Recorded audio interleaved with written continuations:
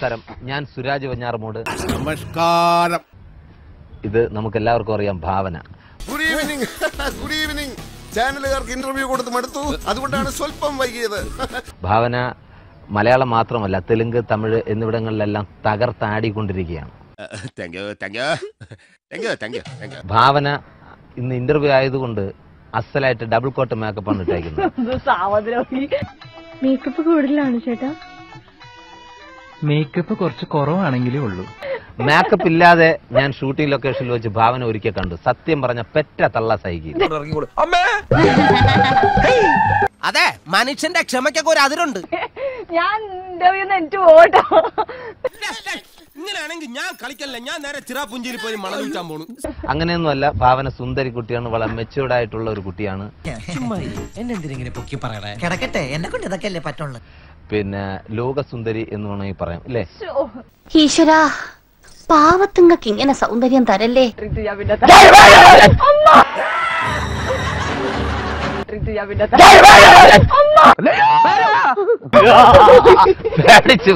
ഒന്ന് ഷോക്കായി. ഷോക്കോ?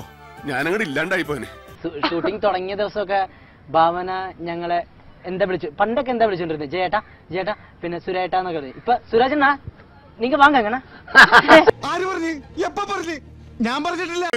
ഉണ്ട്. നൂറ് രൂപ. ഓക്കെ. കണ്ടിട്ടുണ്ട് എന്നെ വരെ ഇവിടെ തമിഴ് പറഞ്ഞിട്ടില്ല മലയാളത്തിൽ വന്നിട്ട്. എന്റെ ഭയ ഞാനൊന്നും പറഞ്ഞിട്ടില്ല. മുതലാളി ഒരു പ്രാവശ്യം പറഞ്ഞിട്ടുണ്ട് ബോട്ടിൽ വെച്ചേ. മുതലാളി മറന്നുപോയതാ ഞാൻ. വന്നപ്പോ തൊട്ടിട്ട് കേട്ടു. ഈ ജയിക്കുന്ന ടി വിക്കാർക്ക് എന്റെ അടുത്തെല്ലാം ദേഷ്യം ദേഷ്യമുണ്ട്. ഇവർ രണ്ടുപേരുടെയും കൂടെ നിർത്തി അങ്ങ് അവമാനിക്കുവാണെന്ന്. ഞാൻ അത്ര ഭയങ്കര വൃത്തിയായിട്ട രീതിയിൽ അഭിനയിച്ചിട്ടില്ല എന്നാ പറഞ്ഞത്. ഞാൻ എപ്പോഴും ഒരു ഡീസെന്റ് ആയിട്ടുള്ള രീതിയിൽ അഭിനയിച്ചിട്ടുള്ളൂ. അതെന്താ?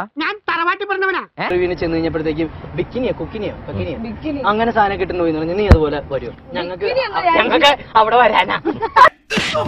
കാമാന്തക കാമപ്രാന്ത കാമരാക്ഷസ കാമപിശാശ കാമരാജ യൂണിവേഴ്സിറ്റി അണ്ടകടാക ഞാനില്ലാട്ടോ ഇന്റർവ്യൂ സത്യം എനിക്ക് ഇഷ്ടമല്ല ഇവർ രണ്ടുപേരും. എടാ എന്നെ കുത്തുപാളം എടുപ്പിക്കാനാണോടാ ദൈവം നിന്നെ ഇങ്ങോട്ട് അയച്ചത്? എന്റെ ചേച്ചിക്ക് ഈ ഗതി വന്നല്ലോ. എല്ലാവർക്കും സന്തോഷമായല്ലോ. എനിക്ക് സന്തോഷമായി. എല്ലാവർക്കും പിരിഞ്ഞു പോവാം.